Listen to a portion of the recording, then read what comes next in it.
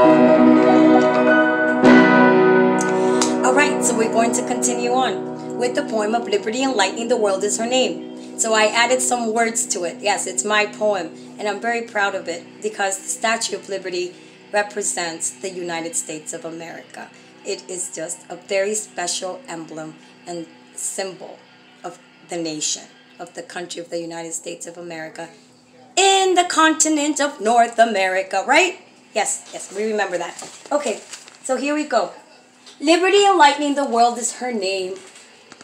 Uphold the torch with your mighty hand. Ignite the land with fiery strength of endless hope and a helping hand. By your golden light and declaration of rights, illuminate the night as the moon shadows the sky and awaits for your beacon light of hope that gleams across the waves from the quiet waters below.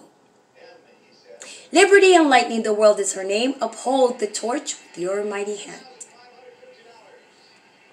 Liberty enlightening the world is her name. Uphold the torch with your mighty hand. Ignite the land with fiery strength of endless hope and a helping hand. By your golden light and declaration of rights. Illuminate the journey as the moon shadows the sky and await for your beacon light of hope that gleams across the waves from the quiet waters below. Liberty enlightening the world is her name. Uphold the torch with your mighty hand. Ignite the land with fiery strength of endless hope and a helping hand.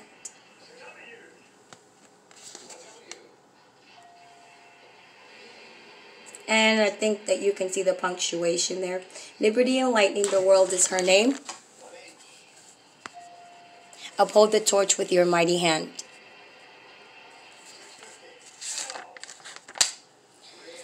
Ignite the land with fiery strength of endless hope and a helping hand. I decided to add a semicolon, so do not capitalize ignite. Liberty enlightening the world is her name. Uphold the torch with your mighty hand. And Ignite the land, it's a silent end. And ignite the land with fiery strength, comma, of endless hope, comma, and a helping hand.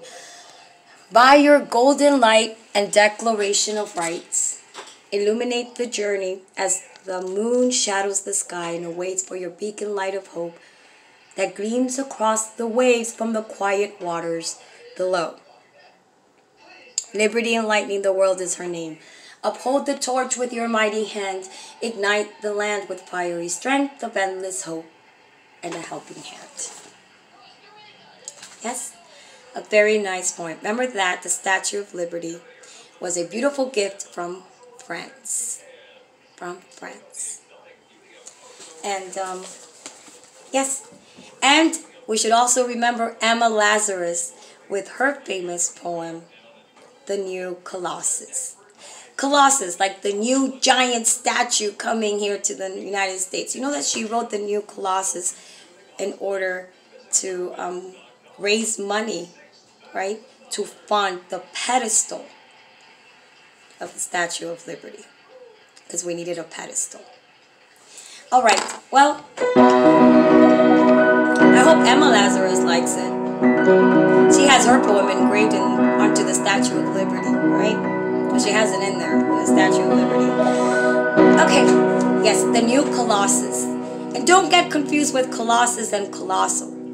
Colossal is the adjective, like, what a colossal of a museum, or something like that. But the Colossus is like the noun, the statue, the new gigantic statue, the new Colossus. Okay.